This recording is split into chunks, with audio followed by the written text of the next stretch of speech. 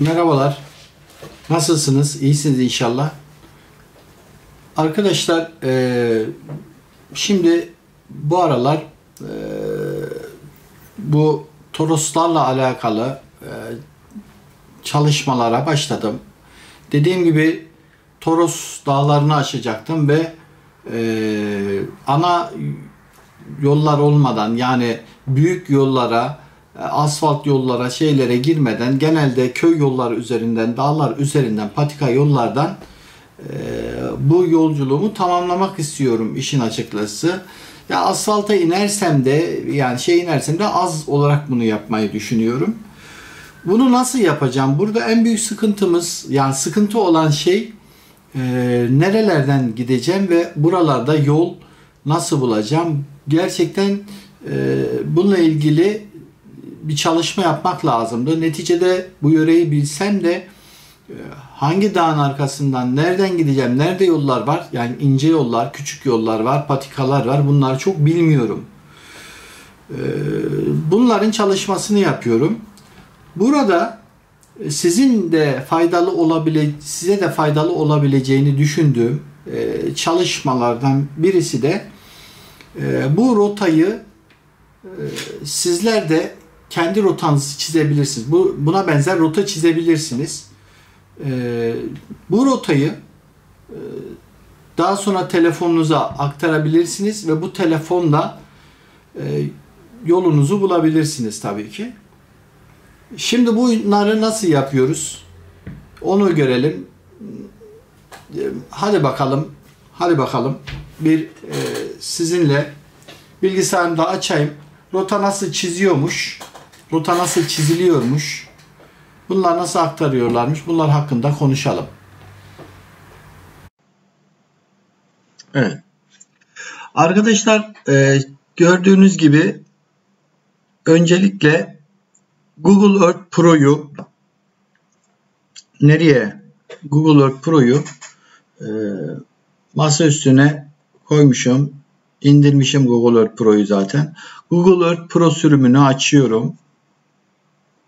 Google Earth Pro sürümünü açtıktan sonra benim çalışma yaptığım alan öncelikle şu Toros bölgesini şöyle M şeklinde daha doğrusu şurası e, or, orta Toroslar şurada Doğu Toroslar var çok küçük parça ama asıl büyük kütle burada.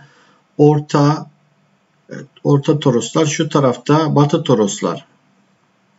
Şimdi burada Google Earth Pro'da Açtığımız zaman şöyle bir yüz çıktı.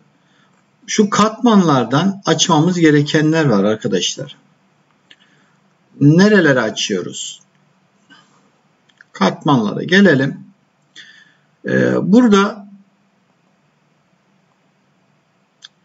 bakın duyurular var. Sınırlar ve, e, ve etiketler, yerler, fotoğraflar, yollar, 3 boyutlu binalar, okyanus, hava durumu, galeri, arazi diyoruz. Biz burada yerleri, yerlerin isimlerini görmek için yerleri açıyoruz. Yolları açıyoruz. Tamam mı? Yollarda ana yollar falan gözüksün.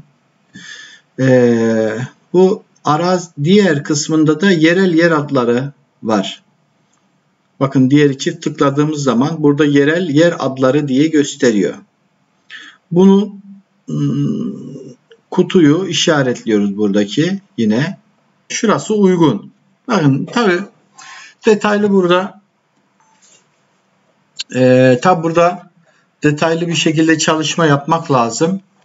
E, diyelim ki burada belemedik. Buradan şu tarafa doğru gideceğiz.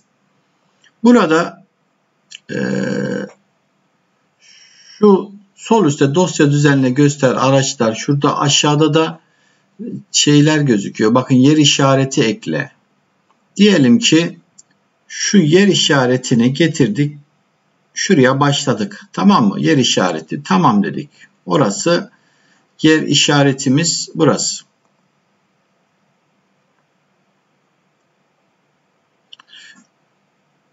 Şu çokgen ekle var. Şurada yol ekleye geliyoruz. Atsız yol. E, toroslar çalışma diyelim. Toroslar çalışması. Burada açıklamaya başlangıç ya da işte fark etmez yani burada ne yazmak istiyorsanız stil renk bu çizdiğiniz yolun şu anda beyaz gözüküyor. Mesela burada ne verelim? Kırmızı çizelim. Tamam mı? Bu da renk skalasından yolun rengini çizebiliyoruz, seçebiliyoruz çizdiğiniz yolun. Şurada yolun genişliğini bir diyor. Bakın ben biraz kalınlaştırayım daha kalın. 2, 3 olsun. Saydamlıkta işte e, saydamlığı %50 yaparsanız falan daha böyle şeffaf aşağıda gözüküyor. Ben %100 yapıyorum. Şunu aşağıya alalım. Bunu tamamen kapatmıyoruz arkadaşlar. Şimdi burada buraya tıkladık. Bakın.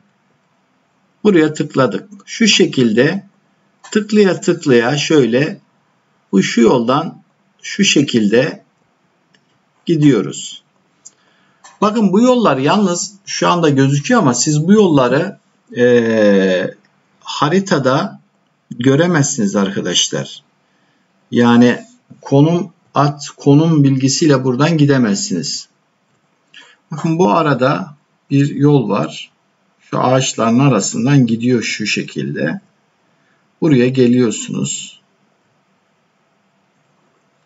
Böyle basılı tutarak da şu şekilde gidebilirsiniz. Evet. Gördüğünüz gibi şuradan rotamızı belirliyoruz. Bakın ne kadar bozuk bir yol. Şuradan gelelim. Şöyle devam edelim. Evet, biraz daha büyük. Burası güzelleşti.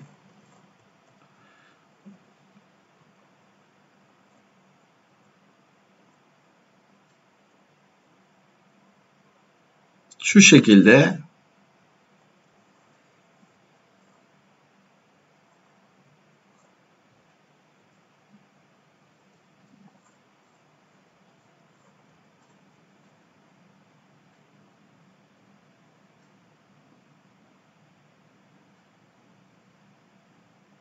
ya da böyle basılı tutarak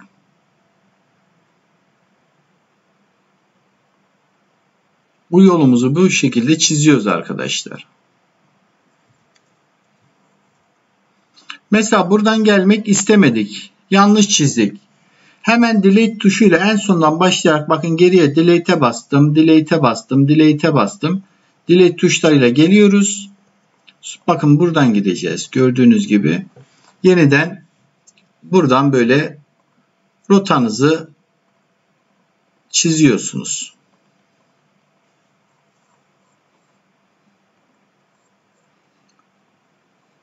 Buradan geliyorsunuz böyle. Geldiniz. Burada diyelim ki tamamladığınız yolu ya da bugün e, çalışmanız diyelim ki e, çalışmayı ta enter'a şuradan burada Tamam dediğiniz zaman gördüğünüz gibi buradan buraya kadar gelmiş oldunuz. Bu diyelim ki e, bu yolun e, çalışmasını çalışmasını yapacaksınız tekrar. Şimdi buraya gelip şuradan e, Toroslar çalışması şöyle e, mouse'un sağ tarafına tıklayarak özelliklerden bakın tekrar çıktı. Buradan kaldığınız yerden devam edebilirsiniz çalışmanıza. Ondan sonra tamam dersiniz biter. Ya da daha sonra yine mouse'u sağ tıklayarak özelliklerden bakın burada yine çalışmanızı dediğim gibi devam ediyor biliyorsunuz. İsminizi de ismini değiştirebilirsiniz. Evet özellikler. Sola tıklayarak mouse'un soluna tıklayarak mouse'un tekerleğiyle de e, tekerleği arkaya doğru döndürerek küçültme ileri doğru döndürerek de haritaya yaklaşma büyütme sağlayabiliyoruz. Böyle bir rota oluşturdum. Bu rotayı kullanabilirsiniz. Bu rotada mesela diyorsunuz ki e, ne kadar e, bir mesafe gittiniz. Diyelim ki özellikler bakın yolum tekrar e, kırmızıyla ben bu renkini değiştirebilirim. İşte yeşil falan neyse.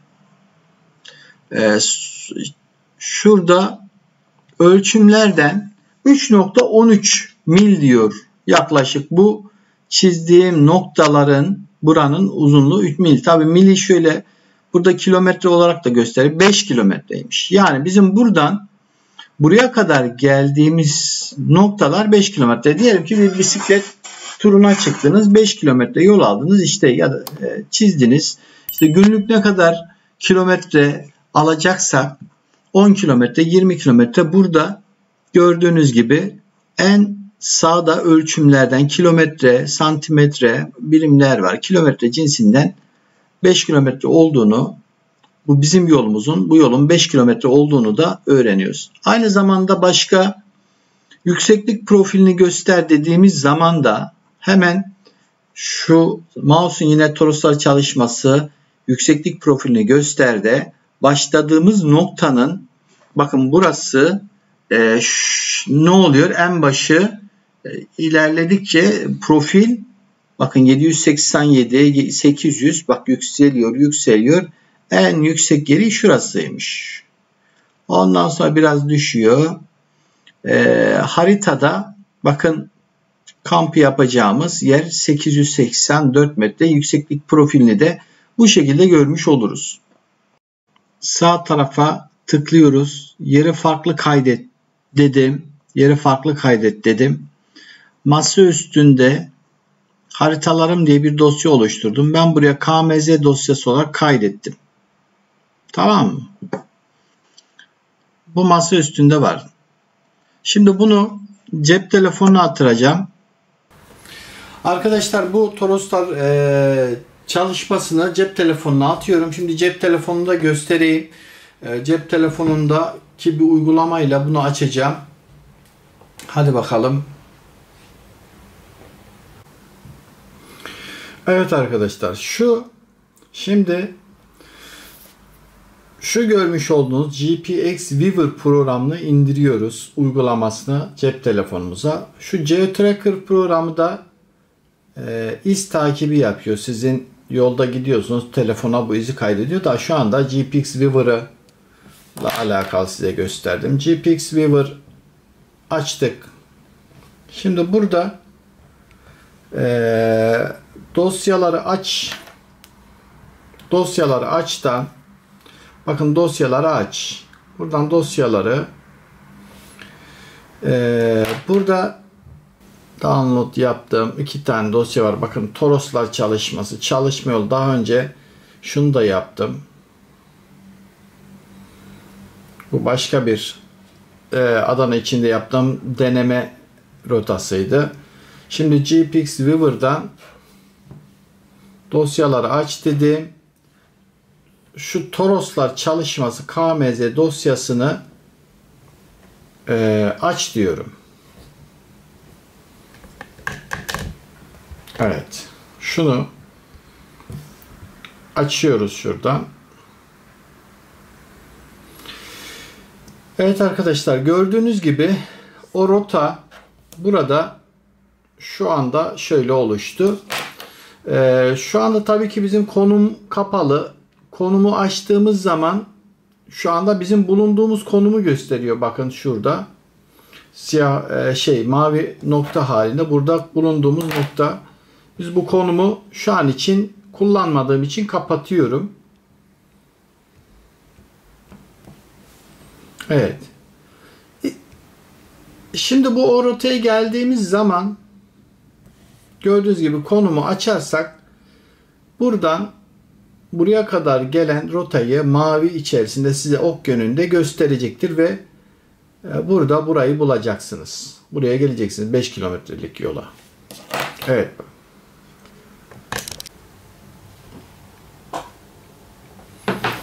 Evet.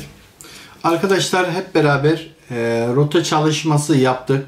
E, sizlere bunu gösterdim. Dediğim gibi bu rotayı motosiklet, bisiklet, dağ yürüyüşü yapacağınız zamanlarda da kullanabilirsiniz. Dediğim gibi e, bir rota çizersiniz. Bu, bu rotanın ne kadar kilometre olduğunu, nerelerde kalacağınız planı detaylı bir şekilde çalışmasını yapıp bunu da telefonunuza aktarabilirsiniz. Şimdilik sağlıcakla kalın. Ee, Bu aralar hep böyle masa başı çalışması yapıyorum. Hazırlık yapıyorum bakalım. Ee, görüşmek üzere. Kendinize iyi bakın. Mutlu olmaya bakın arkadaşlar. Bol bol gezin, tozun, plan yapın. Hadi bakalım. Görüşmek üzere.